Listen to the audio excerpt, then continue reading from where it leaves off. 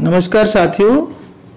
Corona अपने peak पर है और हमारे यहाँ भी उत्तराखंड में पाँच हज़ार के रेंज में पर डे केसेज आ गए हैं।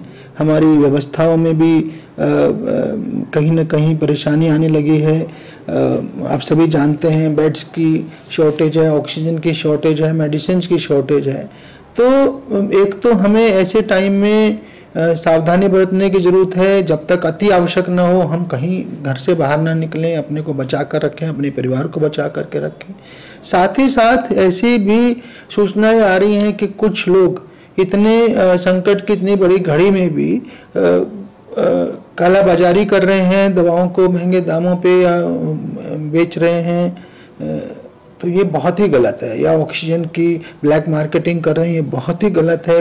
पूरी तरह से मानवीयता और इंसानियत के खिलाफ है, जो इतनी बड़ी आपदा में भी, को भी भुनाने का प्रयास कर रहे हैं बहुत गलत है। हमने इन ऐसे लोगों के विरुद्ध हम कठोर कार्रवाई करेंगे। यही मैं कह सकता हूँ कि अगर हमारे उसमें आएँगे तो इनको बहुत ही कड़ी सज़ा मिलेगी। तो कृपया करके ऐसा न करें, मैं उनसे अपील भी कर रहा हूँ।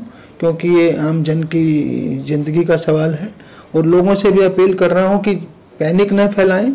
धीरे धीरे सब चीज़ें व्यवस्था पे आएँगी, सब चीज़ें लाइन पर आएँगी। पैनिक न फैलाएँ। और कई बार क्या होता है, अनावश्यक रूप से हमें ऑक्सीजन और रेमडेसिविर की जो बात हो रही है, उसके लिए भी पैनिक होने की ज़रूरत नहीं। ऑक्सीजन में हमने देखा है, प्रोन पोजिशन में पाँच पाँच छः छः परसेंट तक ऑक्सीजन लेवल में चेंज आ रहा है। इसी तरह से रेमडेसिविर को इनिशियल स्टेज पे ज़रूरत नहीं है, जब तक ऑक्सीजन लेवल डिप नहीं हो जाते और बहुत ज़्यादा सीवियर होने पे भी ज़रूरत नहीं है। तो डॉक्टर के एडवाइस के बिना ऐसे ही रेमडेसिविर की स्टॉकिंग ना करें, भविष्य के लिए उसकी स्टॉकिंग ना करें ब्लैक मार्केटिंग ना करें ऑक्सीजन सिलेंडर आवश्यक लोगों तक ही जाने दें जिनको रियल में ज़रूरत है। तो कृपया करके ऐसी संकट की इस बड़ी घड़ी में इंसानियत दिखाएँ।